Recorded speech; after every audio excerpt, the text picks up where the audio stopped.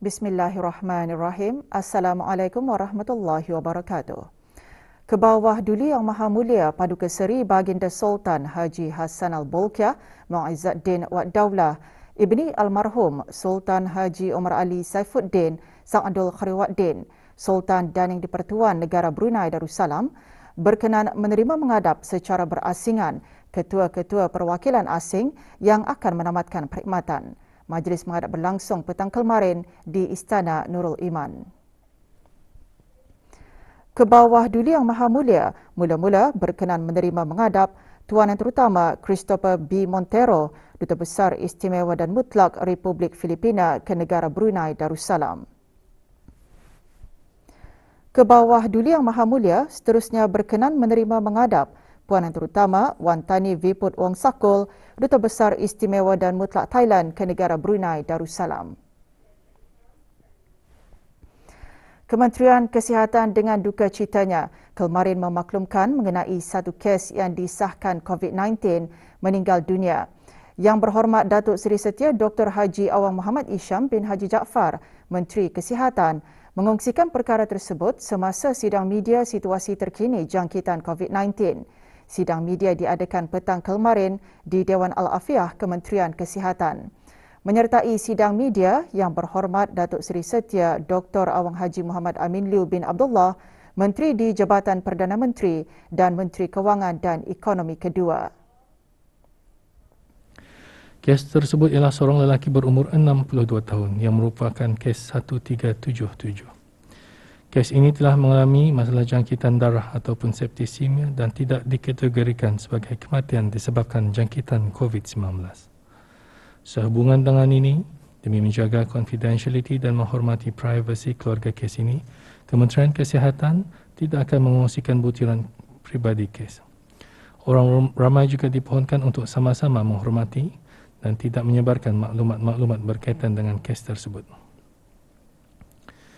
Di kesempatan ini, saya mewakili warga Kementerian Kesihatan dan keseluruhan rakyat negara Brunei Darussalam mengucapkan takziah kepada keluarga kes berkenaan. Semoga keluarga mendiang diberikan kesabaran dan kekuatan dalam menghadapi pemergiannya. Sementara itu, 141 kes baharu jangkitan COVID-19 disahkan kemarin di negara Brunei Darussalam yang membawa jumlah keseluruhan kes meningkat kepada 4,035 kes. 63 kluster. Kluster-kluster baru ini ialah kluster 3095 yang mengandungi dua kes baru. Kluster 3016 yang mengandungi tujuh kes baru. Kluster 3723 yang mengandungi tujuh kes baru. Kluster 3715 yang mengandungi enam kes baru dan kluster Love Bakery yang mengandungi 15 kes baru. Kesemua kluster-kluster baru ini juga mengandungi kes-kes yang telah dilaporkan sebelum ini sebagai yang belum dikenal pasti sumber jangkitannya. Terdapat 25 tambahan kes-kes baru kepada 8 kluster aktif yang sedia ada. Kes-kes dalam kluster-kluster aktif ini adalah mereka yang sedang menjalani kuarantin setelah didapati mempunyai kontak dengan beberapa kes positif sebelumnya. Sementara itu, 79 kes adalah masih dalam siasatan bagi mengenal pasti sumber jangkitan. Pengesanan kontak bagi semua kes-kes baru ini masih giat dijalankan. Semua kontak terdekat yang dikenal pasti akan diarahkan untuk menjalani kuarantin mandatory dan ujian RT-PCR SARS-CoV-2.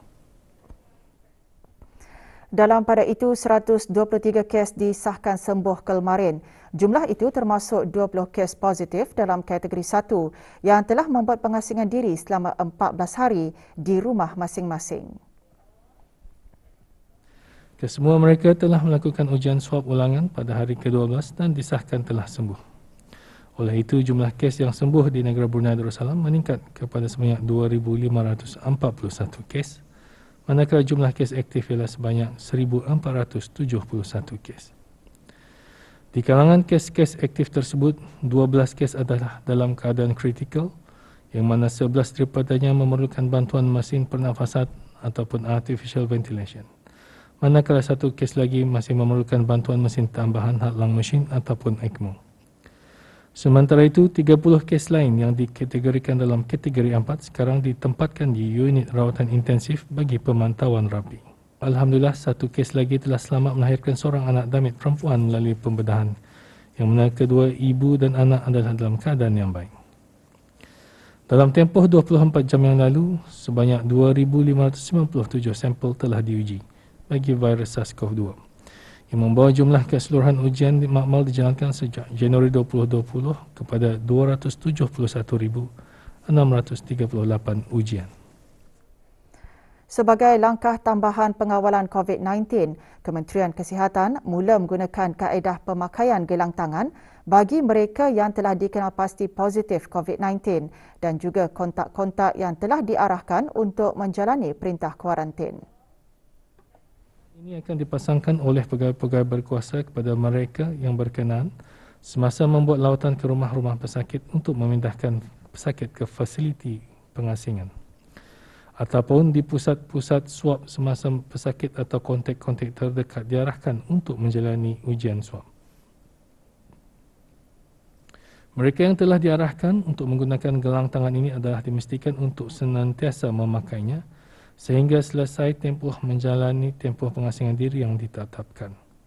Sesiapa yang melanggar peraturan penggunaan gelang tangan tersebut akan didakwa di bawah Akta Penyakit Berjangkit Penggal 204. Untuk makluman orang ramai, terdapat dua warna gelang tangan digunakan iaitu merah bagi pesakit COVID-19 dan biru bagi kontak-kontak terdekat atau mereka yang diarahkan untuk menjalani pengasingan diri setelah menjalani ujian swab. Sementara itu, pesakit-pesakit yang telah dikenal pasti sembuh daripada jangkitan COVID-19 dan telah dibenarkan untuk keluar daripada fasiliti atau pusat pengasingan adalah dinasihatkan untuk segera meninggalkan tempat pengasingan secepat mungkin memandangkan keperluan bagi katil-katil pesakit adalah tinggi. Ia juga akan membolehkan fasiliti-fasiliti berkenan mengambil pesakit lain yang memerlukan rawatan dan yang masih menunggu untuk dibawa ke hospital. Kerjasama orang ramai dalam perkara ini adalah sangat-sangat diperlukan. Sesiapa yang tidak mengikut arahan-arahan yang diberikan daripada mana-mana fasiliti juga boleh diambil tindakan di bawah Akta Penyakit Berjangkit Penggal 204. Individu yang menjalani ujian swab secara pandu lalu perlu menjalani pengasingan diri sebaik sahaja menjalani ujian berkenaan. Menteri Kesihatan menekankan perkara tersebut semasa sesi soal jawab pada sidang media yang sama. Jelas Menteri Kesihatan lagi, individu-individu berkenaan perlu menjalani pengasingan sehingga keputusan ujian swab diperoleh dan tidak dibenarkan untuk keluar rumah. Menteri Kesihatan turut mengongsikan sehingga 10 September 2021, 187 kes didapati positif atau 1.8% daripada lebih 10,000 ujian swab dijalankan di Pusat Swab Pandu Lalu Bredex Jerudong. Manakala 53 kes positif atau 1.4% daripada lebih 3,000 ujian dijalankan di Pusat Swab di Pusat Insani Seria. Jadi kalau bis kita negatif sudah, tidak perlu ada di sana lagi. Ha? So, mesti lebih 600 buah rumah di beberapa buah mukim yang terpilih bagi daerah Brunei dan Muara setakat ini menerima hampir 10,000 pek makanan seperti minum pagi, makanan tengah hari dan makan malam. Pek makanan tersebut diberikan kepada rakyat dan penduduk di negara ini yang sedang menjalani perintah kuarantin dan pengasingan diri di rumah masing-masing berikutan penularan wabak COVID-19 pada masa ini. Kulineri Diraja Brunei RBC dilantik bagi membekalkan dan membuat penghantaran pek makanan tersebut oleh kementerian mengikut garis panduan keselamatan makanan. Pek makanan akan dihantar ke beberapa buah mukim yang terpilih antaranya mukim Brakas A dan B dan mukim Mentiri. Keseluruhan pekerja RBC yang terlibat uh, di dalam membuat uh, preparation untuk makanan ini adalah dalam 110 orang. Pekerja-pekerja ini kami bahagikan uh, kepada dua tim bagi memastikan selaras dengan BCP yang dikenakan pada masa ini. Mereka-mereka ini juga dibahagikan ke zon-zon masing-masing seperti tempat memasak, preset makanan ke dalam kontainer serta membahagikan packing kepada kawasan-kawasan yang tertentu untuk penghantar makanan. Berbanding tahun sebelumnya, jumlah makanan yang perlu disediakan meningkat dua kali ganda. Kira-kira 15 bah kenderaan digunakan bagi memastikan kelancaran penghantaran makanan.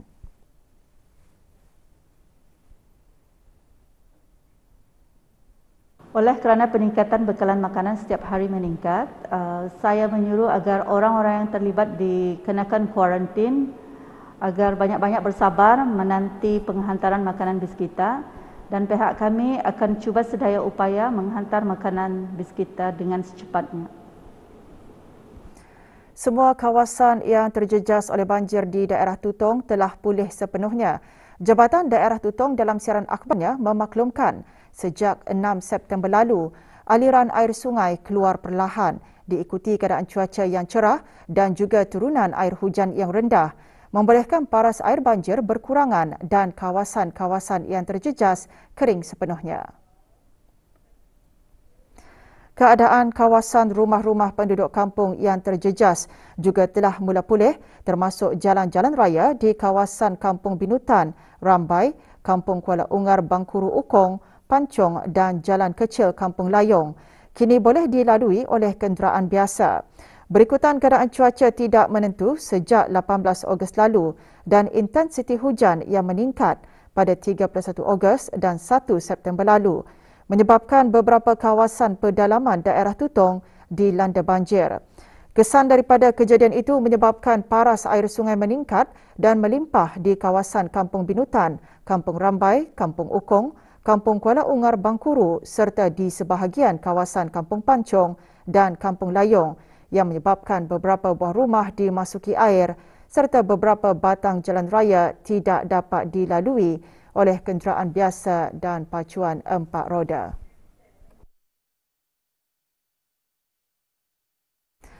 Berikutan siaran media Kementerian Pengangkutan dan Info Komunikasi pada 9 dan 21 Ogos 2021. Jabatan Pengangkutan Darat JPD ingin mengongsikan pengemaskinian mengenai perkhidmatan pendaftaran kenderaan, ujian kod jalan raya dan perkhidmatan-perkhidmatan dalam talian JPD. Perkhidmatan pendaftaran kenderaan meliputi kenderaan baru dan kenderaan import terpakai yang sudah ada di negara ini masih dilaksanakan melalui SOP mengikut prosedur yang ditetapkan dan selaras dengan nasihat Kementerian Kesihatan. Sementara itu, bermula Isnin 13 September 2021, JPD akan mempertingkatkan keupayaan atau kapasiti memproses pendaftaran kenderaan secara back-end iaitu dengan menggunakan kaedah decentralization. Dengan tambahan kapasiti memproses pendaftaran kenderaan tersebut, JPD akan mampu memproses anggaran sehingga 250 permohonan seminggu peningkatan daripada 70 permohonan seminggu pada masa ini dan akan ditambah secara berperingkat mengikut Business Continuity Plan JPD. JPD juga akan membukakan semula ujian kod jalan raya secara dalam talian bermula hari Selasa 14 September 2021. Susulan itu, para pelajar memandu yang ingin menduduki ujian tersebut dinasihatkan menghubungi sekolah memandu masing-masing bagi tempahan dan tata cara ujian.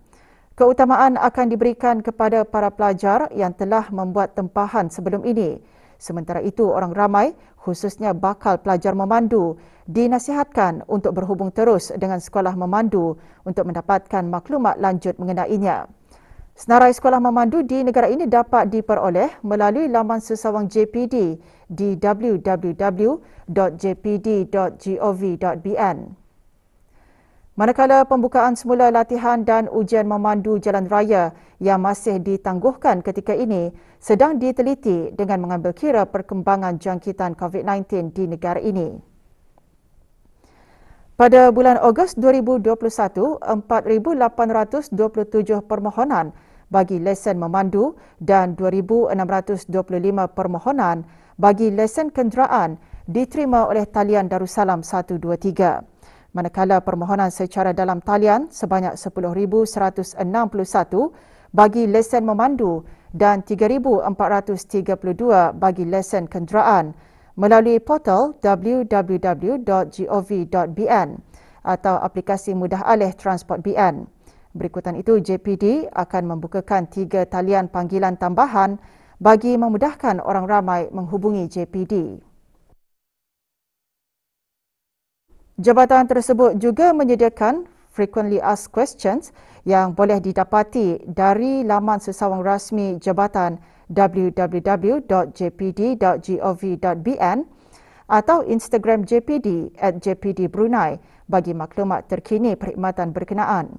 Sementara itu, perkhidmatan lain jabatan berkenaan akan dibuka semula secara berfasa dalam masa terdekat.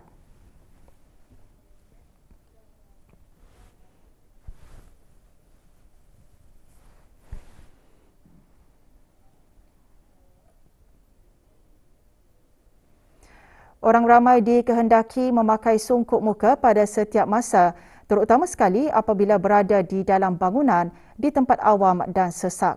Sesiapa yang gagal mematuhi arahan pemakaian sungkup muka boleh dikenakan denda RM100 di bawah Akta Penyakit Berjangkit. Kita ikuti promo ini.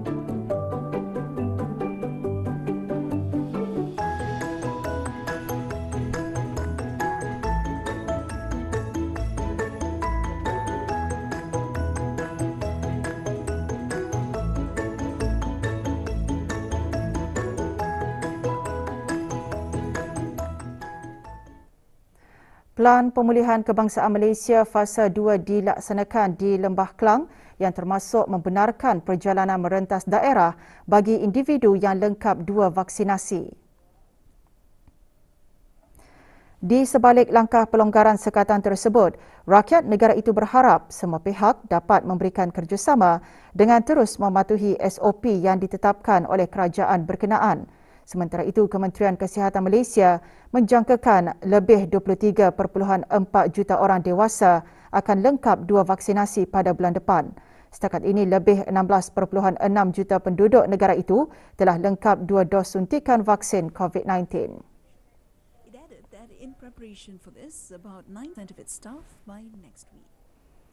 New South Wales yang menjadi pusat penularan terbaru COVID-19 di Australia melaporkan hampir 1,600 kes harian baharu jangkitan menjadikan kes harian tertinggi pernah direkodkan. New South Wales yang menjalani sekatan pergerakan untuk kekal berada di rumah selama hampir tiga bulan juga mencatatkan 8 kematian baharu.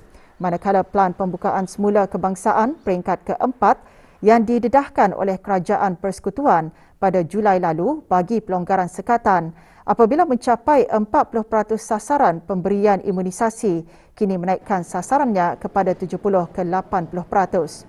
Australia setakat ini merekodkan hampir 73,000 kes COVID-19 dan lebih 1,000 kematian.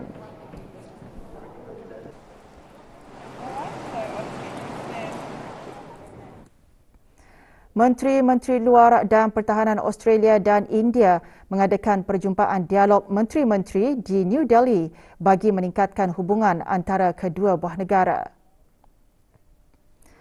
Menteri Luar Australia Mary Spain dan Menteri Pertahanan Peter Dutton tiba di India bagi mesyuarat untuk mengukuhkan hubungan dua hala, pertahanan dan hubungan strategik bersama rakan sejawatan mereka Subramanyam Jaishankar dan Rajnath Singh. Kedua-dua menteri Australia itu juga dijadualkan mengadakan pertemuan dengan Perdana Menteri Narendra Modi.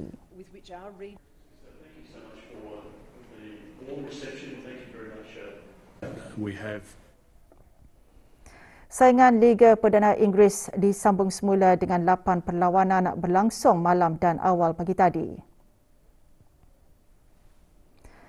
Dalam perlawanan malam tadi, Crystal Palace menewaskan Tottenham Hotspur 3-0 di laman sendiri. Arsenal menang 1-0 ke atas Norwich City. Brentford pula terpaksa akur kalah 0-1 kepada Brighton and Hove Albion. Leicester City tewas kepada Manchester City 0-1. Sementara itu, Manchester United menundukkan Newcastle United 4-1. Southampton pula terikat tanpa jaringan dengan West Ham United dan Watford tewas di tempat sendiri 0-2 kepada Wolverhampton Wanderers. Manakala dalam perlawanan awal pagi tadi, Chelsea menang 3-0 ke atas Aston Villa.